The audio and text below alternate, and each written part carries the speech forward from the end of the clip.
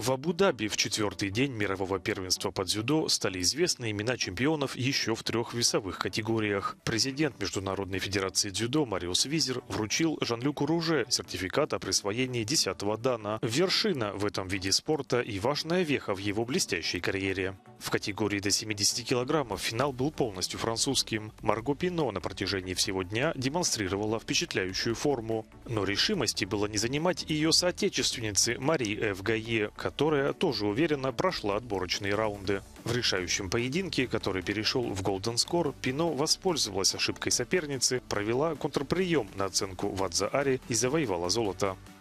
Церемонию награждения провел Мохаммед Бинталу Пальдерей, президент Федерации дзюдо УАЭ. Я чемпионка мира. Это безумие. Вот первое, что мне пришло в голову. Я мечтала об этом титуле, когда была моложе. Я мечтала стать чемпионкой мира. Это огромное достижение для меня.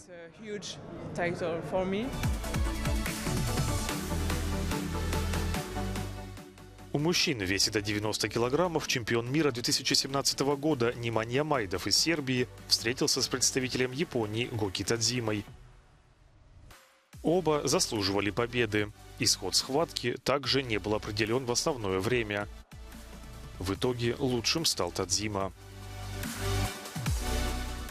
Золотую медаль спортсмен получил из рук четвертого президента Хорватии, члена МОК Калинды Грабар-Китарович.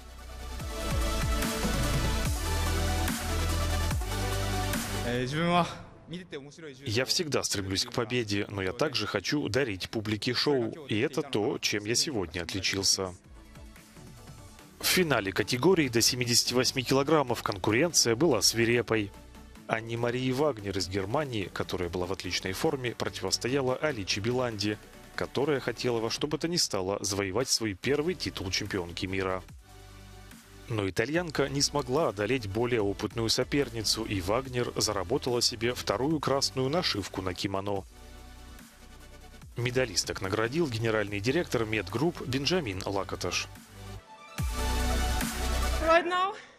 Не могу в это поверить. Последние три года были просто сумасшедшими, а титул достался мне прямо перед Олимпиадой. Эта медаль очень много значит для меня. Это была тяжелая борьба за путевку на игры в Париже. Теперь я могу себе сказать, у меня есть этот титул.